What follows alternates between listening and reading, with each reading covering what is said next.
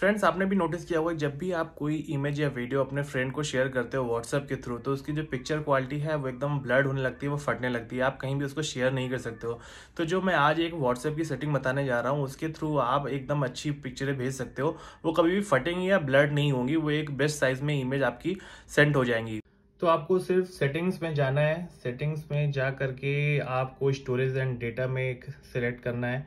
Storage and data में आपको photo upload quality मिलेगी। फ़ोटो अपलोड क्वालिटी में ऑटो या डेटा सेवर पे सिलेक्ट होगा तो आपको बेस्ट क्वालिटी में सिलेक्ट कर देना है।